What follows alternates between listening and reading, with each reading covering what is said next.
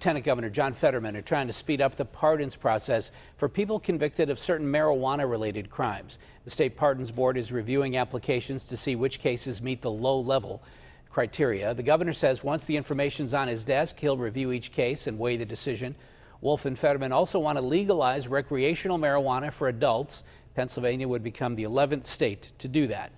A state lawmaker is proposing that state liquor stores be allowed to sell marijuana.